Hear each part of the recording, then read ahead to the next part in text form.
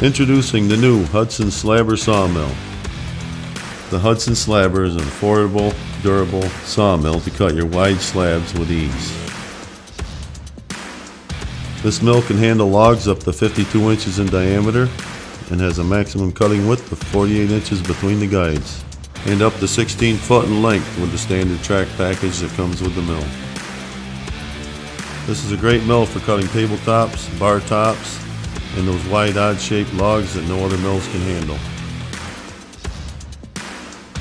This mill comes standard with the 19 inch band wheels, inch and a half pillow block bearings mounted on both sides of the band wheels, which carry our standard six year warranty on the shafts and bearings. Powered with a commercial, American made 23 horsepower Briggs & Stratton Vanguard engine. Also standard is the 5 gallon lube tank on the sawmill with our proven Hudson guides with the top, bottom, and back support for more accurate cutting for those unique pieces you need to cut for your wood shop. For affordability, this mill was designed with a manual lift system.